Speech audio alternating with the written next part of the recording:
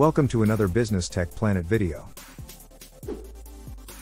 Today, we'll show you how to join a Microsoft Teams meeting using a meeting ID.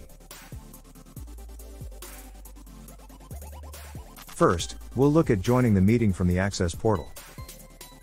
And then we'll show you how to join from the Teams app.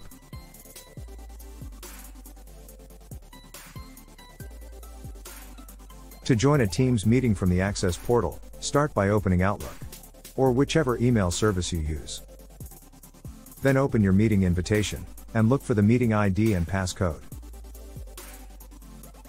Highlight and right-click the meeting ID, and select Copy. Now open the Access portal in your web browser. The link can be found on screen and in the video description. There, paste the meeting ID into the top box. Then return to Outlook and copy the passcode. Paste the passcode into the bottom box in the Access portal.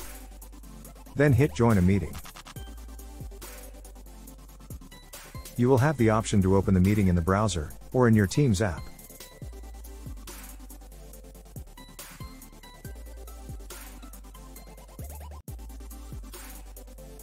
Finally, hit Join Now.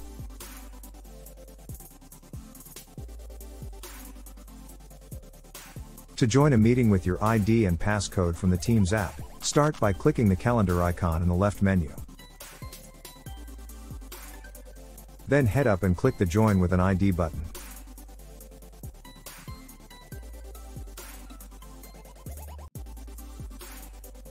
Now head to Outlook. Or whichever email service you prefer. And grab your meeting ID and passcode from your invitation. Paste the meeting ID and passcode into the corresponding input boxes.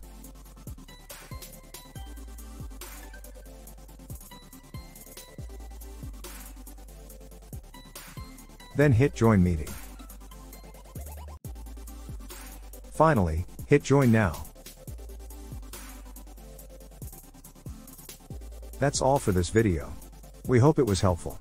Check the description for additional links and resources and leave a comment below if you have any concerns or questions. Thanks for watching. And don't forget to subscribe for more Microsoft videos.